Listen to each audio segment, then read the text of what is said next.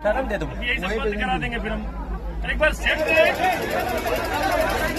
কিছুক্ষণ আগেই ঘটল এক ভয়াবহ মর্মান্তিক দুর্ঘটনা চল্লিশ ফুট গভীরে কূপে পড়ে গেল তিন বছরের শিশু। চলছে উদ্ধার কাজ। তো এমন ভয়াবহ মর্মান্তিক দুর্ঘটনাটি কোথায় ঘটেছে? শিশুটিকে কি আদৌ এখনও উদ্ধার করা গিয়েছে? এই মুহূর্তে সেখানকার পরিস্থিতি কেমন রয়েছে? জানতে হলে দর্শক অবশ্যই ভিডিওটিকে সম্পূর্ণ দেখবেন, ভালো লাগলে একটি লাইক করবেন এবং ভিডিওটিকে শেয়ার করবেন। আর এই ধরনের লেটেস্ট স্ট্যান্ডিং আপডেট সবার প্রথম পাওয়ার জন্য চ্যানেলটিকে সাবস্ক্রাইব করে পাশের বেলাইকনটি প্রেস করে অল নোটিফিকেশনটিকে ক্লিক করে আমাদের সঙ্গে থাকবেন। তো চলুন, এক নজরে দেখে নেওয়া যাক। খেলতে খেলতে চল্লিশ ফুট গভীরে কূপে পড়ে গেল তিন বছরের শিশু।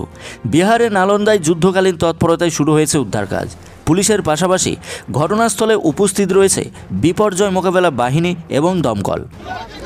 সকালে ঘুম থেকে উঠে ক্ষেতময় দৌড়ে বেড়াচ্ছিল তিন বছরের ছোট্ট শিবম।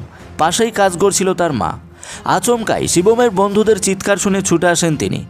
ক্ষেতের পাশেই তৈরি করা পরিত্যক্ত চল্লিশ ফুটের কূপে পড়ে গিয়েছে তার ছেলে। খবর যায় পুলিশে। চলে আসে বিপর্যয় মোকাবেলা বাহিনী। শুরু হয় উদ্ধার কাজ। গর্তের ভিতরে শিশুটির যাতে অক্সিজেনের অভাব না হয়, সেই জন্য কৃত্রিম উপায়ে অক্সিজেন পাঠানোর ব্যবস্থা করা হয়। শুরু হয় যুদ্ধকালীন তৎপরতায় উদ্ধার কাজ। এক পুলিশ আধিকারিক বলেছেন, আমরা খবর পাই, একটি বাচ্চা বোরওয়েলে পড়ে গিয়েছে। শিশুটিকে উদ্ধার করার চেষ্টা করছি, বাচ্চাটি এখনও বেঁচে আছে। আমরা তার গলা যাওয়ার, আমরা তার গলার আওয়াজ পাচ্ছি। বিপর্যয় মোকাবেলা বাহিনীর এক কর্তা বলেছেন, গোটা এলাকা ঘিরে ফেলা হয়েছে।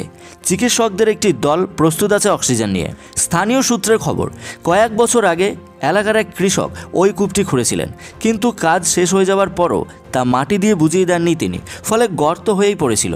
খেলতে গিয়ে অসাবধানতা বশত সেই গর্তে পড়ে যায় শিশুটি। ভারতের চাষের কাজে জলের প্রয়োজনে কূপ খোঁড়ার চল বহু প্রাচীন। অনেক ক্ষেত্রেই কূপে পড়ে যাওয়ার ঘটনা ঘটেই চলেছে। বেশিরভাগ ক্ষেত্রে শিশুরাই কূপে পড়ে যাচ্ছে। দমকল কর্মী, পুলিশ এবং বিপর্যয় মোকাবেলা বাহিনীর তৎপরতায় অবশেষে উদ্ধার করা হয় শিশুটিকে এবং তড়িঘড়ি তাকে হাসপাতালে পাঠানো হয় এবং শুরু হয় তার চিকিৎসা। বর্তমানে শিশুটি সুস্থ আছে। তবে মানুষের অসাবধানতার জন্যই এইভাবে বিপদের মুখে পড়ছে এই ছোট্ট ছোট্ট শিশুগুলি।